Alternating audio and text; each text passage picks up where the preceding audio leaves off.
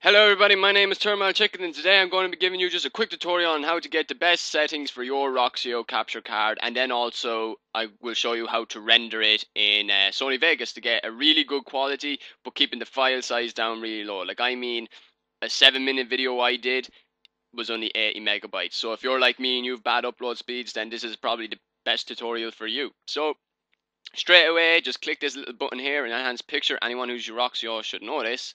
Settings, you want to set it to AVI. It's the best for getting the quality and whatnot. You want to put your brightness to 115 and your hue to 75, your sharpness on 0, your contrast on 34 and your saturation on 44. So then, once you get that, that's a really good setting to, for capturing content with the Roxio. So once you have that, you're ready to render it. Now, if you don't have Sony Vegas and you don't want to render in Sony Vegas, that's fair enough.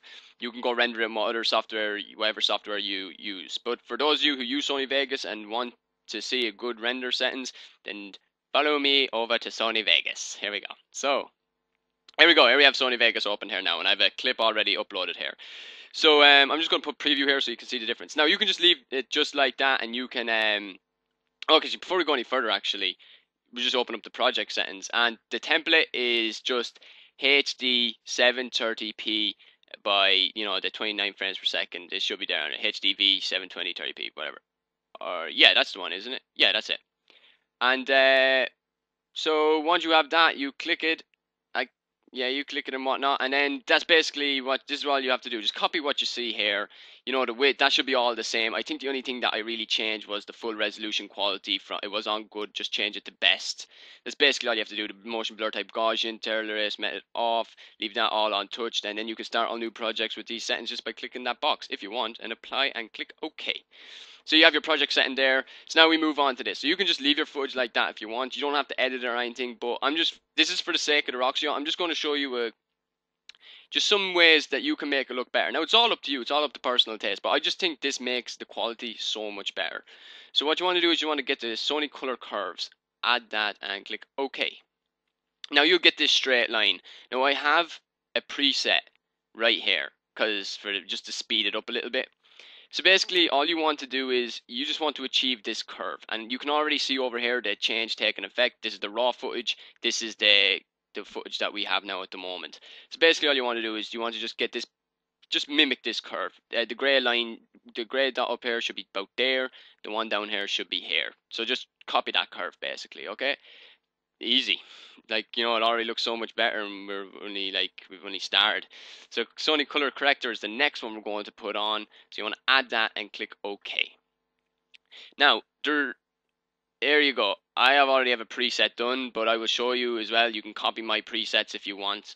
And uh, here it is basically. Now this was designed for uh, Battlefield 3, this preset, but it is up to you. Like you can just mess with it until you get something that you really like and whatnot. But basically for the low, uh, you want to put it in just in between the not you're not moving it too much off the center just in between the two blues okay and then for the middle you're really not moving it at all. You're just edging it towards the blues again if you know what I mean the blue colors if you know what I mean. So then and then on the bottom one on high you just want to put it into the yellow and just over here into the yellow a little bit maybe like a little bit edging towards the green just to give it that kind of warm just to give it a warm color effect especially for battlefield. I find i seem to find the game quite blue so i just want to give it that warm color effect. So that's that done then.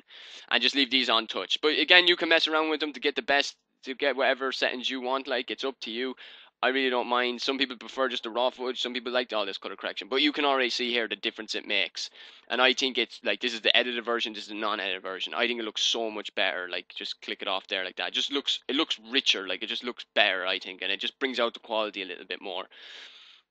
Now, once you have all that done, you want to render it. So we're just this is the best part. This is where we're going to get our low file sizes and whatnot and all like this, and it's going to be it's going to be really cool. So basically, look, you want to just I'll just exit off. This is where you find it, okay?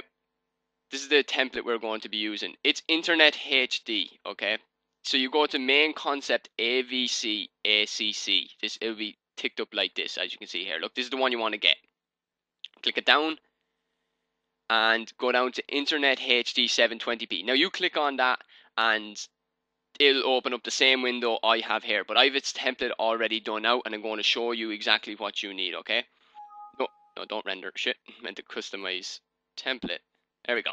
So customize template. So basically this is it. You just want to copy this down Your frame size, just click this one here, HD 720p. Frame rate is on 29. That should be like that. Should be set like that. Tw frame rate 29 NTSC. Field order non-progressive scan. Pixel aspect ratio 1. Number of reference frames 1. Put on variable bit rate with click and check the two pass with maximum BPS of 1 5 1 five zero zero zero zero and your average BPS of one five zero zero zero zero encode mode automatic and enable progressive download. So if you didn't catch that, just pause it and you'll be able to see it all there and just copy it down. Your audio is going to be sample rate 48,000 and your bit rate 128,000. Should be set like that. You shouldn't have to change it. Uh, your system, check GPU, don't know what that is, and your project should be use project settings and use project settings. And that's basically it. Then you just click OK and it should start rendering. Now, if this helped you guys in any way, please feel free to rate, comment, and subscribe. And please subscribe anyway. But yeah, if it helped you, please share it around, like it, why not do what you do best with it? And I don't know. So you can do whatever you want to do with it. That's just the way we roll. But um, thank you. This is just my quality settings. I hope you enjoyed this video. And you can use the rendering settings for any video, especially like if it's like it'll be awesome quality, especially if it's HD. But this is just I showed you this like if it's true HD, whereas Roxio isn't. So this is why I'm just showing you this to get the best quality you can for your Roxio and keeping the file size down really small. Like I said, seven minute video done with these rendering settings, 80 megabytes. So you can't really beat that. So that's basically it. So I'm just going to show you is the sample I have here, the video I have here with all the render settings applied to it. And I hope you enjoyed this video and uh, goodbye.